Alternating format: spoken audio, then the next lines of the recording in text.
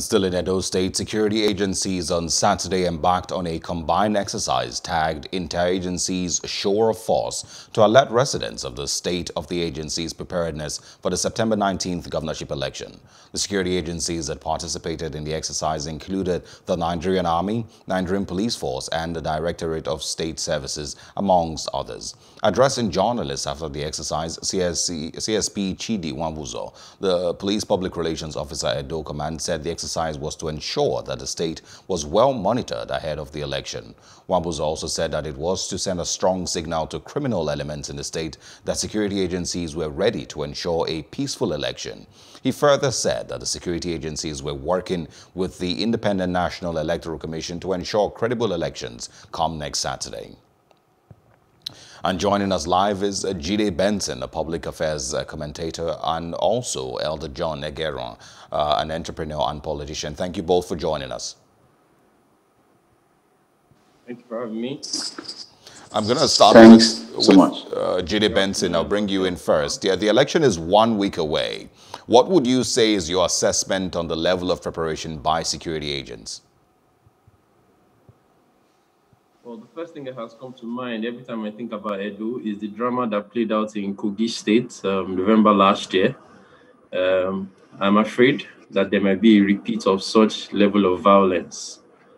Uh, we should see more than the kind of um, embrace that the two candidates had in the palace of the Oba of Benin. However, I see that that um, that show of camaraderie was clearly just for the cameras. On ground, what you see is very different from what they demonstrated in the palace of the Oba.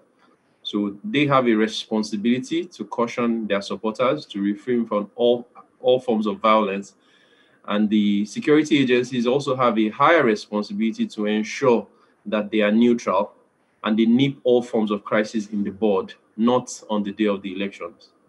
All right, and um, Elder John, let's also hear from you. I want to know what your thoughts are with regards preparation by security agents. How, how do you how prepared do you think they are? You see, thank you for having me today. Uh, just like we've been having over time, the Nigerian security system has not been able to improve, especially on cases like this. We've seen it in 2019, and just like Jide said, November last year, there have never really been a major improvement. The numbers of uh, major armies you've seen everywhere, thousands of soldiers coming around, will not really, really change anything. I think the major thing here still depends on the people who are actually running, the two giants in the field.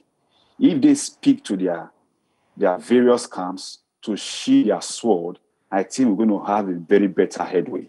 If we rely on the police, because over time we've seen either the police going for or against a particular political party. I can't bet on their support. Kogi State's own was so clear, and I'm sure they're going to be a repeat of such. But if we have the two aspirants or candidates coming on ground and say, now we are going to do this, it's not going to be violence, and I tell you, it's going to be like that. But just on the police or other security systems or agencies, I'm not so sure. Talk, I'm not talk- sure. Talking about the police now, Jide Benson, I want you to speak on this. The IG deployed eight commissioners of police uh, for the election. Does this send a message across, you know, um, of possible violence, and hence uh, the police doesn't want to take chances um, um, in um, Edo State? And also, is this really necessary in an election? Well, because of the peculiarity of Nigeria, yes. I mean, in other climes, this shouldn't be. An election should be a contest of ideas. Because if you're deploying eight commissioners for one state, imagine if you were to be in a general election where election was taking place in many other states in Nigeria. It is sad the, the level of our security system because it, what it means is that security personnel have been moved from different states to be able to beef up the security in Edo State, all because of one election.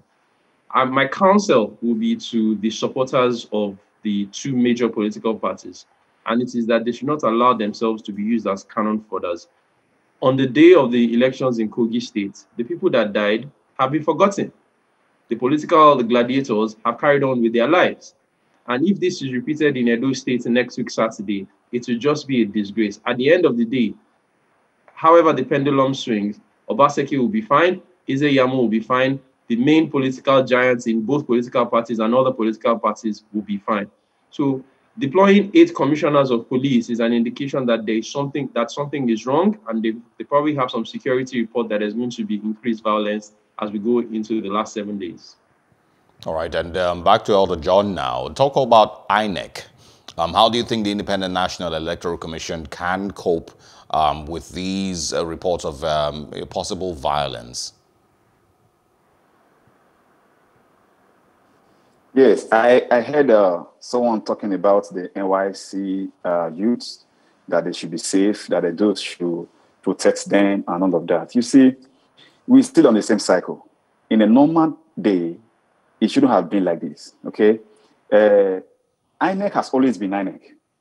2015, 2019, and trust me, it's just going to be like that again. I am not really seeing, let, us be hopeful that this time we're going to have an INEC that's going to play the game of a re and an umpire, you know, that it should be.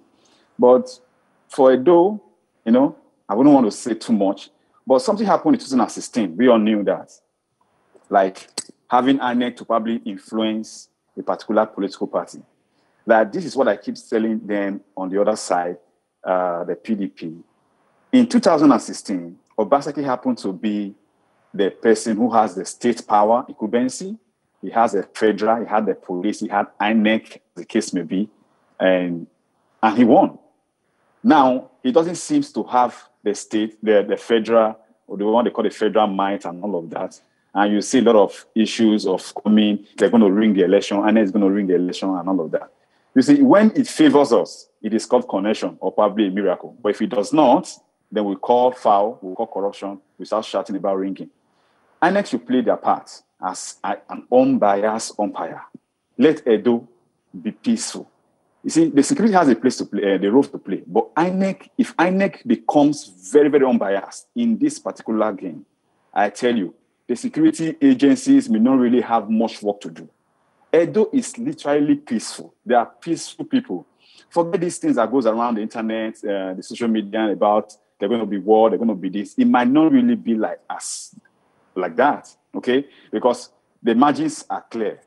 Let INEC do their real professional job as the law entails them to.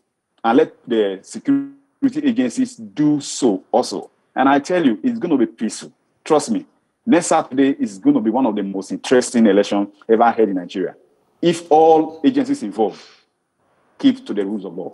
Jide Benson, what is what faith do you also have in the Independent National Electoral Commission um, in being able to play um, its role um, um uh, perfectly? Actually, what I have for INEC is sympathy. Uh, INEC, like every one of us, is at the mercy of the security agencies and the touts and criminals or the brigands that are always used to frustrate the electoral process. But added to that is, for me, this would have been a golden opportunity for INEC to begin to test whether it's e-voting or virtual voting, because this is one state. Um, commissioners of police have been deployed. Um, the logistics of managing such a process in one state would have been easier. They would have been able to test this very well and see how they can extrapolate on it. But clearly, they haven't thought about that. I have very little faith in, in INEC. I, have always done so because, again, they are at the mercy of this same system that we all live in, which is always um, in need of improvement. Elder John Egeruan and uh, Benson, thank you both for speaking with us. Um, the elections, uh, you know, next weekend, and I, I look at, look forward to having another conversation with you both um, before and after. Thank you very much. Thank you so much.